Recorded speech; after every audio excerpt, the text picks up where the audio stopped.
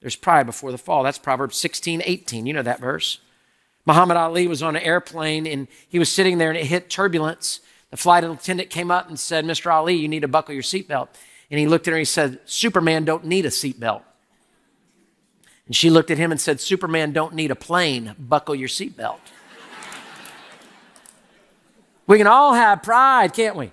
It can all be in there, can't we?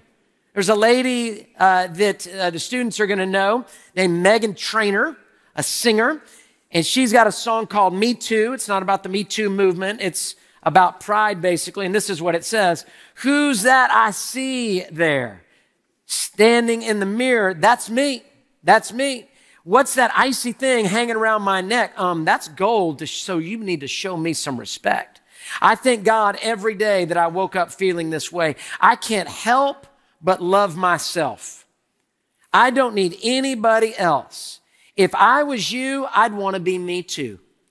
If I was you, I would want to be me too.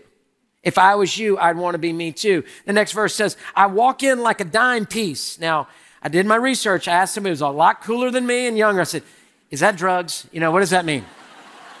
I don't know what that means. I don't want to be quoting drugs at church, you know, if that's what that means. It doesn't. Here's what I found out it's being a perfect 10. So she's a dime, all right? Perfect 10. So, husbands, give your wives a dime later today.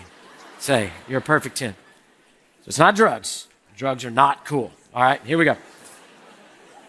I walk in like a dime piece. I go straight to VIP, my entourage behind me. I thank God every day that I woke up feeling this way. I can't stop loving myself.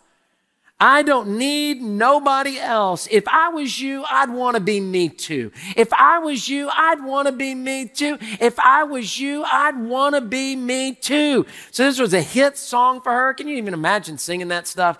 To be able to say that over and over and over and the pride that that takes. And then she was invited on Jimmy Fallon Tonight Show. Come sing your song. I want to show you what happened at the end of her song of singing this song. Here we go.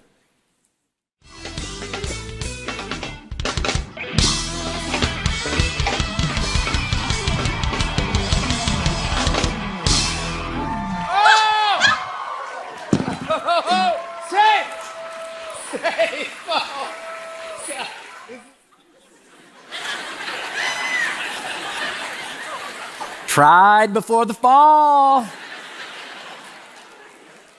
Pride before the fall. That's right. So we want our hearts to be humble. We don't want to be humbled on national TV like that.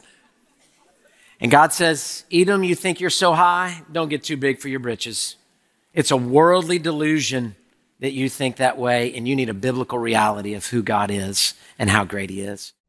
Hey, thanks for watching. To find out more about Houston's First, you can subscribe to our channel or you can go to houstonsfirst.org.